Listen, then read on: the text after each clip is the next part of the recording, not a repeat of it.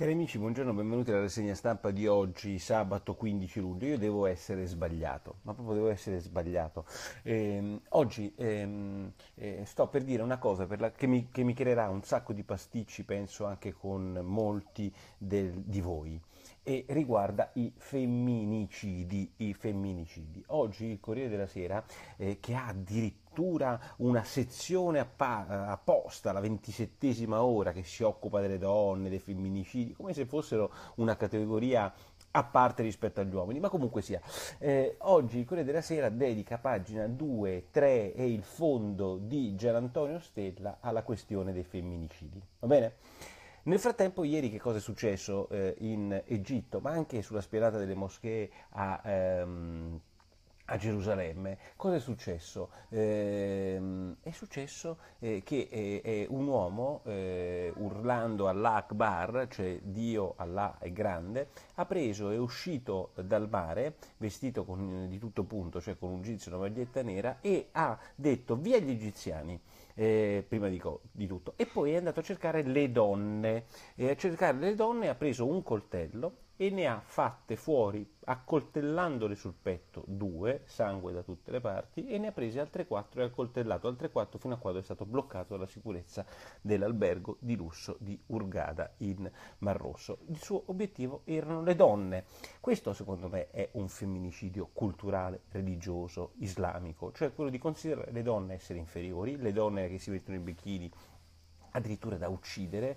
E, ehm, e, e, e, sul Corriere io vedo questa storia come sugli altri giornali trattata come una storia adesso ci siamo arrivati di terrorismo ma fino a poco tempo fa era un pazzo era un terrorista islamico era un, un, un, un lupo solitario. No è un fondamentalista islamico che ha ammazzato delle, delle due donne guarda caso due donne tedesche. Allora ritorno al femminicidio del Corriere della Sera. E leggo il femminicidio del Corriere della Sera insomma due pagine sullo scandalo del femminicidio. Ieri per la la verità c'è stata una di quelle tragiche coincidenze, tragiche, mostruose, per cui quattro, mi sembra, donne, addirittura forse cinque, anche una coppia, una di 81 anni, l'altra di 79 anni, hanno visto l'uomo che uccide la donna e poi ha provato a uccidersi. Eh, e, e, questo rientra nella categoria dei femminicidi e, e, ed è una grande emergenza quella del femminicidio, non il terrorismo islamico, ma il femminicidio. E sul femminicidio facciamo le prime due pagine del Corriere della Sera, non sulla cultura islamica, che, eh, fondamentalista islamica che vuole questo. Che cosa leggo però nel pezzo di Gian Antonio Stella? Che questo è una tale emergenza che mh, eh, il femminicidio nel 2011 erano in Italia 124. 124 sono stati i femminicidi in Italia, non so, 6.000 sono morti sulle strade. Nel 2016 diciamo che sono anche troppi, è ovvio che anche un omicidio è troppo, un omicidio è troppo, una violenza a una donna è troppa, è fuori da dubbio ma da 124 nel 2016 sono diventati 111, sono diminuiti dell'11% e questo lo dice il procuratore che è andato eh, nella commissione ad hoc dove Carfagna, Boldrini, tutte unite, abbracciate, dicono che l'emergenza è il femminicidio. Meno 11% è diminuita. Sono diminuiti anche gli omicidi, dice Gian Antonio Stella, ma insomma è un'emergenza quella di 111 omicidi nei confronti della donna. È una cosa drammatica che deve essere colpita con le attuali leggi, non con le aggravanti che qualcuno pensa. Devono essere sbattuti in galera le persone che ammazzano una donna come un uomo, come un infante. Devono essere eh, eh, ognuno, eh, qualsiasi persona che uccide ha una tragica violenza che lo Stato non può accettare e deve sanzionare. O no? Io me lo chiedo. La Boldrini ha detto, ehm, cos'è, cos'è, che ha detto? Aspetta, ve lo dico. Eh, eh, ecco, una crudele mattanza. Eh, no, non è una crudele mattanza. La crudele mattanza è un'altra cosa. È certamente un omicidio, è certamente da combattere, eccetera. ma la crudele mattanza usiamola per altre cose, o no? Eh, visto eh, Boldrini che lei eh, non ha voluto usare la parola che si doveva usare quando c'era l'immigrazione in Italia come invasione, se è così attenta, attenta alle parole, forse crudele mattanza per questi 111 omicidi è un po' troppo. So che questa è una cosa che non vi piace, ma io sono convinto che Boldrini, Carfagna, che ieri un'altra, che assumono un ruolo per rendere emergenziale una cosa gravissima, ma che emergenziale non, non è.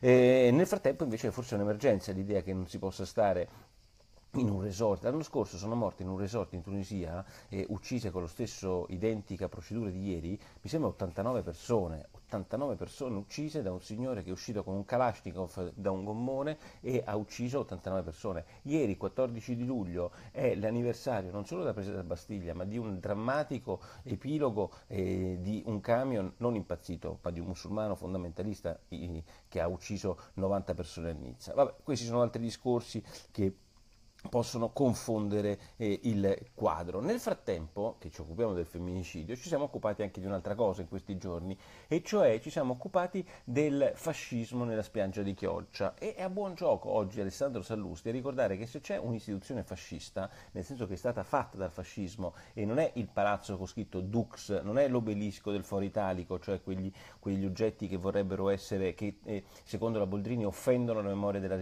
resistenza, ma si chiama Ordine dei giornalisti giornalisti a cui anch'io purtroppo devo fare parte. Non posso far, non farne parte, se non lavorassi al giornale potrei far, esserne completamente fuori, se lavorassi soltanto con questa rassegna stampa su Facebook che mi gratifica molto ma non mi fa eh, campare.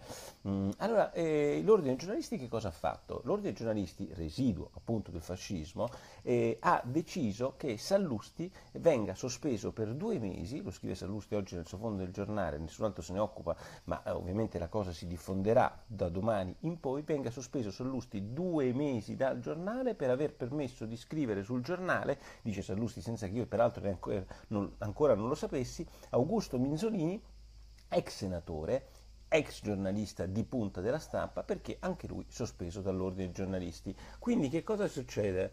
Eh, eh, che viene sospeso perché ha fatto scrivere un sospeso. Ma vabbè, insomma, questo è il nostro ordine giornalisti, quello che stesso che ha sospeso Filippo Facci perché ha rivendicato il eh, diritto all'odio nei confronti di chi ci ammazza. Ehm, andiamo avanti eh, sulle, sulle, sul, sul fascismo ed è un boxino che è fantastico oggi sul Corriere della Sera. Non è che me la prendo sempre sul Corriere della Sera, lo leggo sempre con attenzione e penso che Luciano Fontana faccia un bel mestiere come direttore del Corriere della Sera, ovviamente è difficile gestire 54 pagine, ma c'è un boxino sul Corriere della Sera che è una cosa incredibile e in onore di quel boxino oggi mi sono vestito così. E cioè quel boxino che cosa dice? Che ci sarebbe un Mincul Pop, Mincul Pop che è il Ministero, Ministero della Cultura Popolare, appunto fascista, a Wimbledon, perché avrebbe obbligato un ragazzino che giocava, ma anche Serena Williams nei giorni scorsi, a cambiarsi di magliette, di mutande perché erano colorate. La cosa può far sorridere, ma siccome in quel torneo da 140 anni c'è previsto l'obbligo del bianco allora, se un giudice arbitro chiede a una persona di cambiarsi perché non si è vestita di bianco, così come un tempo ci si doveva mettere la cravatta se si entrava al Senato, così come nei circoli eh, ci sono delle regole molto particolari, così come anche in Italia ci sono dei circoli in cui si deve vestire soltanto di bianco, non vedo cosa ci sia di mincul pop nel far rispettare la legge. C'è di mincul pop qualche cosa, cioè c'è di 68 l'idea solita dei nostri giornalisti che se ci sono delle regole si possono non rispettare. Quando fanno caso da loro perché esistono nell'aristocratica Inghilterra Inghilterra, poi dopo invece facciamo sempre i piagnistei sul fatto che non rispettiamo le leggi. Il Minkul Pop perché Wimbledon vuol fare rispettare il bianco, che è una delle caratteristiche di quello straordinario torneo che viene fatto sull'erba.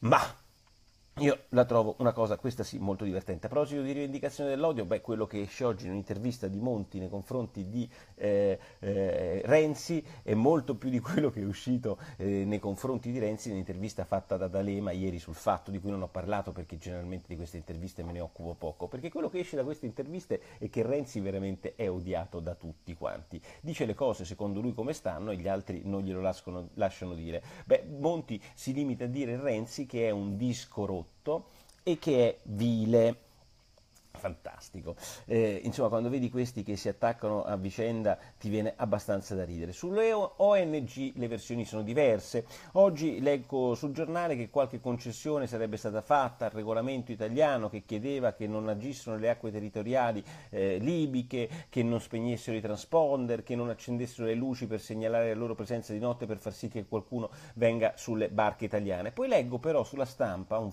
un, foglio, un fogliettone in cui dice che l'Italia non ha ottenuto che le ONG si obblighino, ma l'impegno delle ONG a comportarsi in questa maniera. Quindi poche sanzioni a proposito di Minkul Pop. Insomma, se così fosse, poca roba. Nel concorsone, leggo sul Corriere della Sera, c'è stato fatto un concorsone per far sì che si eh, assumano 250 dipendenti che valutino le domande di asilo. Questo è il senso dell'Italia, cioè assumiamo 250 dipendenti pubblici perché valutino la bontà delle richieste d'asilo degli immigrati eh, clandestini in Italia. Ce ne sono 133.000 in arretrato. Non è che si devono occupare degli affari nostri, delle nostre tasse, della nostra polizia, della nostra cosa. No! Le valutazioni della nostra giustizia arretrata, del processo civile. No, ormai dobbiamo occuparci del diritto d'asilo degli immigrati perché fanno tre ricorsi, primo grado, secondo grado, terzo grado e nel frattempo rimangono in Italia. Siamo un paese di pazzi. Ovviamente poi la pazzia nella pazzia fa sì che questo concorso, ovviamente ci vogliono anni per poterlo indire, quindi verranno presi 250 che si occuperanno del diritto d'asilo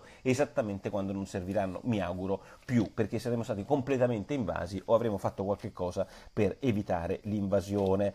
Non vi sto a parlare troppo purtroppo perché abbiamo già fatto 10 minuti della eh, flat tax, ma interessante il pezzo di Nicola Rossi oggi come sempre sul eh, sole, non mi convince l'innalzamento al 25% dell'IVA che lui giustifica come semplicemente l'esecuzione di una clausola di salvaguardia che già esiste. Um, non, eh, non ho più tempo purtroppo eh, per parlarvi di Legnini, vicepresidente del CSM, che dice i magistrati non possono più, eh, una volta che hanno fatto i politici, ehm, eh, ritornare a fare i giudici, che mi sembra una cosa sacrosanta, e la risposta, questa volta anticipata, la dà Travaglio con la solita sindrome di Travaglio, che siccome Di Matteo si candida col Movimento 5 Stelle, non fa altro che difendere Di Matteo, il Movimento 5 Stelle, i due idoli del, eh, di, di Travaglio, cioè difende come sempre la scelta del Movimento 5 Stelle il giorno dopo dicendo che non vede per quale motivo non si debba candidare, visto che già Grasso, Presidente del Senato, ehm, e, e, tanti altri magistrati svolgono ruoli importanti, quindi perché proprio per il candidato del Movimento 5 Stelle ha una sua logica quello che dice ovviamente la sindrome di Travaglio oggi. Ultima cosa che a me affascina moltissimo è sulla verità.